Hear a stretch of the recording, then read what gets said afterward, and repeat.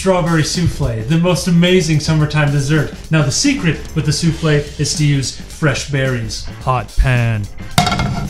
Sugar. Strawberries. As the sugar comes up to the boil, turn the gas down and then let that cook out. Sniff.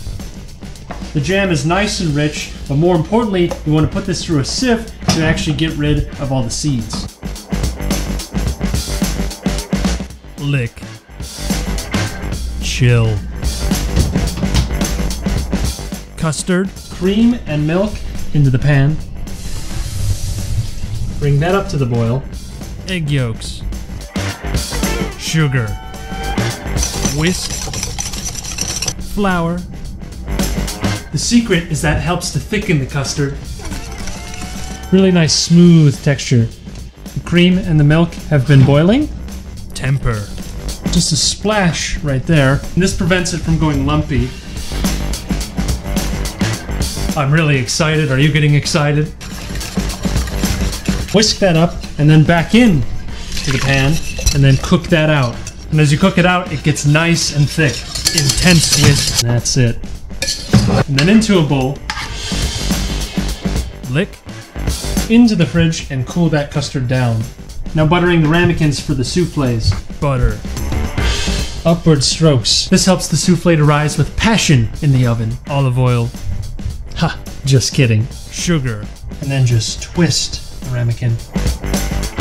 Transition. All right, the jam's cooled down, the custard's cooled down. Mix. Lick. Mix the jam and the custard. Now it's much smoother. Rest. Egg whites.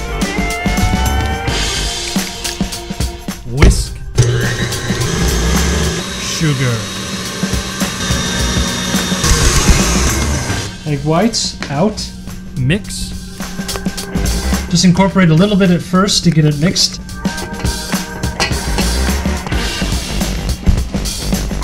One nice scoop. Scrape. You want to bang down the ramekin. That gets any air out of the bottom so that it can rise evenly. And then just run your thumb help the souffle to rise in the oven. Transition. Into the oven at 375 degrees. 20 minutes. Powdered sugar.